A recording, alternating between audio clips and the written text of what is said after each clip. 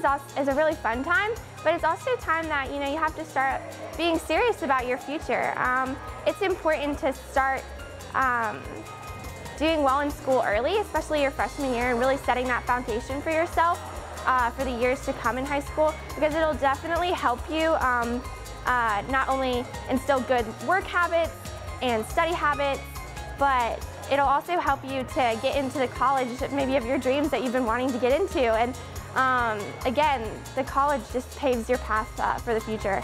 So I definitely uh, tell people to take uh, high school seriously, but not too seriously. Have fun. So yeah.